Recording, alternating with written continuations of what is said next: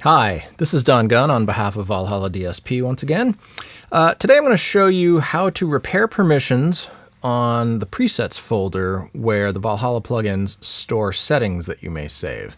Occasionally the OS will have issues with its, its permissions at a system level, um, and I'm also going to show you how to repair them on the disk as a whole, uh, but sometimes you'll need to go in if a folder's had its permissions changed, and, and you can just do that on an individual basis. So what you're going to need to do is from the Finder, you can create a new Finder window and go to your system hard drive, the library, application support, and then down here to Valhalla DSP LLC. Now right now, this little pencil with a line through it says, guess what? You can't write to me. And that's a bummer. So you want to right click and choose get info, or you can, while having the folder selected, use command plus I to open a get info window. And you will see that this is where our permissions are. And right now, I can only read. so I need to unlock this, enter my password, and under everyone, I want to switch this to read and write. Then I'm going to choose that. And here, I'm going to also select apply to enclosed items so that all the other folders underneath this Valhalla DSP LLC folder will take on the same properties of read and write. So I'm going to click that, hit OK.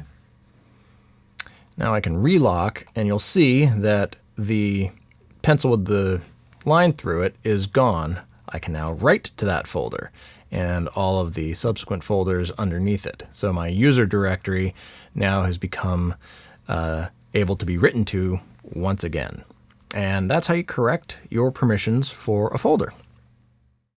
Another good thing to do on your Macintosh hard drive as general disk maintenance is to repair the disk permissions on the drive itself. Uh, this you can get to via the utilities folder in an application called disk utilities. So you can see that here, disk utility. Select your boot drive and then just select and click Repair Disk Permissions.